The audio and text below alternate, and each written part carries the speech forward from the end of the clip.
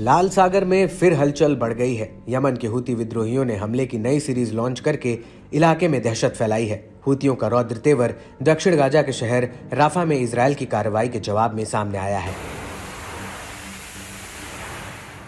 इसके बाद अमेरिकी सेना हरकत में आ गई है। लाल सागर में जंगी जहाजों की तैनाती बढ़ा दी है। एक अमेरिकी अधिकारी ने बताया कि USS Dwight D Eisenhower युद्धपोत वापस लाल सागर में लौट आया है।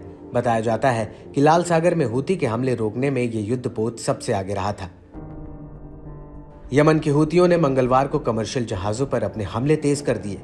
यूके समुद्री व्यापार संगठन ने बताया कि यमन के अदन से बयासी समुद्री मील दक्षिण में एक मर्चेंट शिप पर दो जोरदार हमलों का सामना करना पड़ा। हालाँकि जहाज़ और उसके क्रू मेंबर्स को ज़्यादा नुकसान नहीं पहुँचा है, मगर इस हमले ने एक बार फिर हूतियों की उस चेतावनी को सच साबित कर दिया है, जिसमें उसने कहा था कि वो इसराइली जहाजों को और अधिक दूरी तक टारगेट करेगा। इसके बाद यूएस सेंट्रल कमांड ने बुधवार को दावा किया कि हूतियों के खिलाफ चलाए जा रहे ऑपरेशन में हमारी सेना ने यमनी सशस्त्र बलों की ओर से लॉन्च तीन ड्रोन और एक एंटीशिप बैलिस्टिक मिसाइल को इंटरसेप्ट किया है। ये बात सेटकॉम के ये कहने के एक दिन बाद आई है कि अमेरिकी सेना ने मंगलवार रात को लाल सागर के ऊपर एक होती ड्रोन को मार गिराया। वहीं अमेरिकी अधिकारियों ने मिसाइल विध्वंसक स्क्वाड्रन के साथ 14 अक्टूबर से इस इलाके में तैनात अमेरिकी युद्धपोत के कम से कम गर्मियों तक वहीं रहने की उम्मीद जताई है।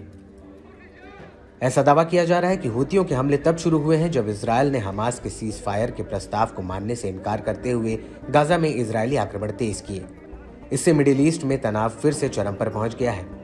हूतियों ने पिछले हफ़्ते ही इसराइल को धमकाते हुए कहा था कि इसराइल की ओर से अगर गाजा के राफा में हमला हुआ तो मिलिशिया ग्रुप शांत रहने वाला नहीं है। मिसाइल और ड्रोन हमला कर इसराइल और उससे जुड़े जहाजों को बड़ा नुकसान पहुँचाने का मादा रखता है। इसके साथ ही हूती विद्रोहियों ने दावा किया है कि समूह के एक बड़े इजरायली और अमेरिकी जासूसी गिरोह को टारगेट कर तबाह कर दिया है। जो दोनों देशों के बीच सूचनाएँ भेजने का काम कर रहा था। बता दें कि बीते दिनों यमन के हुती संगठन ने फिलिस्तीन के समर्थन में अपने अभियान के चौथे फ़ेज़ के शुरू किए जाने के ऐलान किया। इसमें भूमध्यम सागर को शामिल करने के लिए हमलों के दायरे का विस्तार शामिल है। गौरतलब है कि यमन का मिलिशिया ग्रुप बीते साल नवंबर 2023 से लाल सागर और अरब सागर में काफ़ी सक्रिय है। इसराइल, अमेरिका और ब्रिटेन से जुड़े कमर्शियल जहाजों और युद्धपोतों को निशाना बना रहा है। हूती विद्रोहियों ने भी कसम खा रखी है कि जब तक इसराइल गाजा में अपना अभियान बंद कर नहीं देता, तब तक जहाजों को निशाना बनाया जाता रहेगा। ऐसे में यह देखना काफ़ी अहम रहेगा कि अमेरिका इस चुनौती को कैसे पार पाता है या फिर हूतियों के सामने घुटने टेक देता है।